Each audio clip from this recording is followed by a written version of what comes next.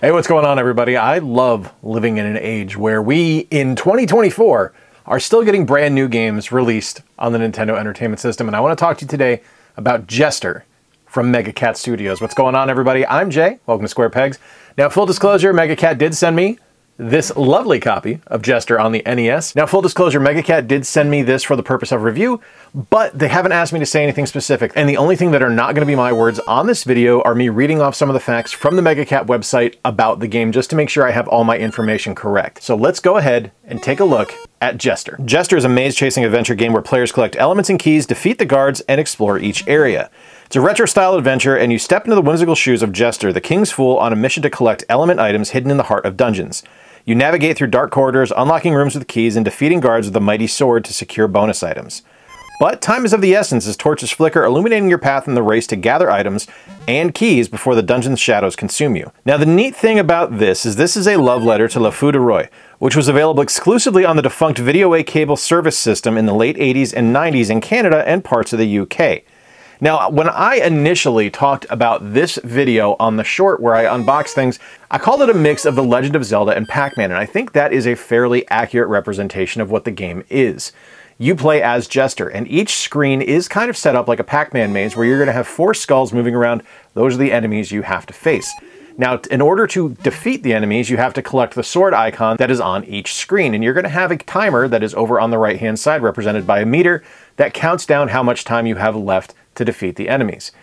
And it's pretty clever. Like, the thing I really like about it is that it kind of eases you into it because the first collection of levels, the first nine different screens that you're going to have to go through to collect the items, are fairly straightforward and simple. And the thing I really enjoyed about it is that it gives you a sense of confidence, a false sense of confidence that you think your skills are going to be sufficient as you move through the game because once you get to the second stage, the training wheels come off and the game no longer cares about your feelings. It just kind of pushes you down the stairs and steals your lunch money.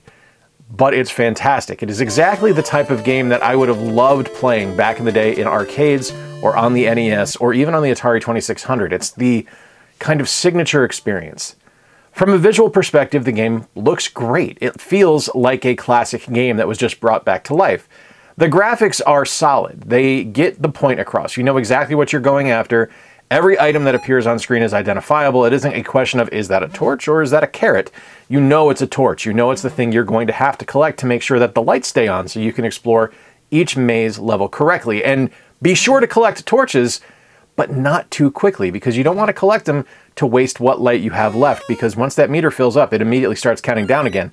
I did run into a situation where I ran out of torches and I had no way to figure out how to get out of the level, which was frustrating to say the least because I knew I did it too. Like I knew I was like, oh, I collected that torch too quickly, but I'll be okay. I was not okay. The game laughed at me. It made me die. I, I wasn't happy. But the game itself was addictive and it was fun, and it was something I kept going back to in order to complete the level. And like I said, once you actually get to a point where you understand what's going on, that first level becomes pretty simple. You can kind of set a pattern on how you want to go about things. As you unlock keys, the map is going to flash to show you where the key unlocked something. You'll see a green box appearing on screen. At least I think that's what it's doing. I don't, I, I'm, I'm believing that's what it's doing. I might be wrong there, but I'm pretty sure that's what's happening. And the game itself is solid. It feels like an Adventure Quest version of Pac-Man, which I really dig being able to turn those enemies into the white skulls that instantly start running away from you and you collect the sword is satisfying and defeating them is great. And you want to make sure when you get that sword that you do defeat all of them because if you don't, they will regenerate when you come back to the room and the sword will not. And then it's just a game of dodging and running and making sure you don't get killed. I really do enjoy how this game looks because it doesn't need to be flashy. It doesn't need to be overly presented. It just needs to make sure that you understand what you're doing. You need to know that there is a maze, you need to get through, you need to find keys, you need to unlock things, you need to collect items. It works. In that regard, it's perfect. I think about the only thing I don't really care about is that the game starts off with this a killer song on the press start screen. I think it's great. The music is fantastic on press start, but when you get into game, there's no music. It's a fairly quiet title and that's a little bit disheartening because of how good the music on the press start screen was. I mean, the sound effects are fine, but it does decidedly feel like an Atari game in that regard because there's no you know, background music or anything like that. It's just a sound effect when you collect something. And if you go into it knowing that, you won't be kind of disappointed by that. But I didn't realize that when I went into it. So getting that initial hit of music on the press start and then having no music in game, I was kind of like, oh, that's a bummer, just because of how good that initial press start screen music was. But it's still fantastic. It's still fun, and it's it's not something that detracts from the overall game. It's just a man that would have been nice. Now, this is something that I really think a lot of people will enjoy. And the thing I really like about the work that Megacat does is that they are bringing forward physical games. And physical media for classic consoles is such an important thing towards preserving those consoles for use in future generations, as well as allowing people to develop for those consoles when they might not have the ability to afford something like a Switch dev system or a PS5 dev kit. You're able to get something like NES Maker or something along those lines and be able to develop a game using that. Now, there are several different options here for physical releases for Jester. You can get the NES cartridge only, which is $49.99. There is a complete and box copy as well, which is awesome. It's got a classic kind of late NES release with that red stripe at the top that says what it's from. Uh, and it looks great. It comes with a box and a manual and the cartridge. That's $59.99. And then there's the limited edition cartridge, which is just ridiculous. It looks like Jester's head. It looks like the character art. Uh, it's sculpted. It's amazing. It's absolutely amazing.